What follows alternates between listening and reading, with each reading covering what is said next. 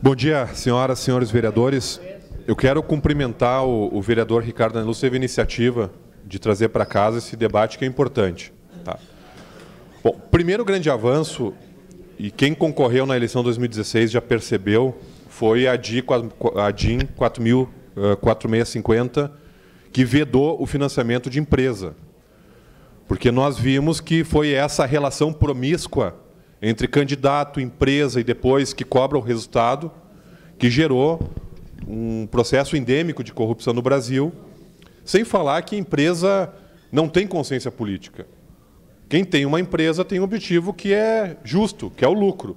Então, a empresa que cumpra a sua função como, como pessoa jurídica e as pessoas que têm consciência, que têm uma ideia né, de cidadania, que, que uh, financiem as campanhas. Bom, eu, dentro da minha formação política, eu sempre entendi que a democracia tem um custo. Nós temos que acabar com qualquer tipo de abuso do poder econômico, mas a democracia ela tem um custo. A própria eleição gera um custo para o Brasil. Então nós não podemos rebaixar né, uma ideia de que não pode gastar nada. Então eu sempre fui defensor do financiamento público das campanhas e continuarei sendo, porque o candidato tem que fazer campanha e depois cumprir o mandato. Essa coisa de ficar pedindo dinheiro é nisso que muitas vezes se, se perde na curva. Essa relação. Quem doa 5, 100 mil, 50 mil, provavelmente está comprando, não está fazendo uma doação. Né?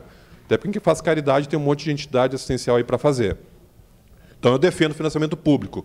No entanto, com a, com a atual regra, o que, que nós verificamos em 2018? Que aumentou a disparidade e as condições de eleição entre os candidatos. Porque os partidos, através das suas direções, trouxeram critérios que beneficiaram ainda mais os mandatários.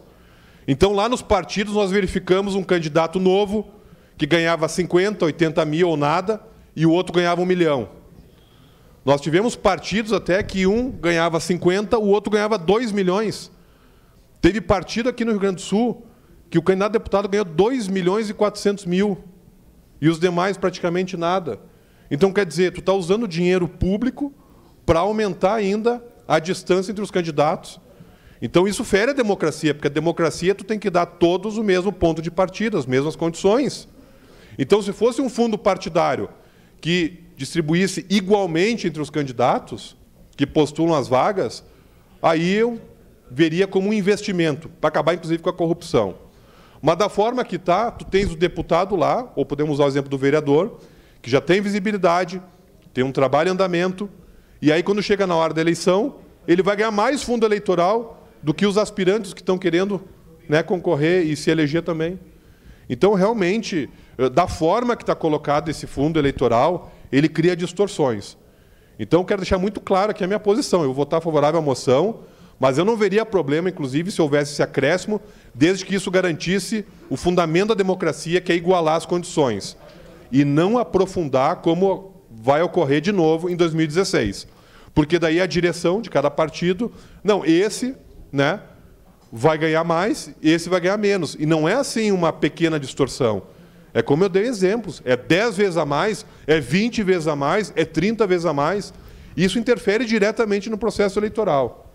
Então, se antes havia distorção, porque alguns tinham relação com as empresas, agora o fundo eleitoral está trazendo essa distorção, porque dentro do próprio partido se criam essas disparidades. Então, senhor presidente, voto a favor da moção e deixo muito claro minha posição a favor de financiamento público, porém, com essa distorção, é um absurdo o que uh, está se fazendo.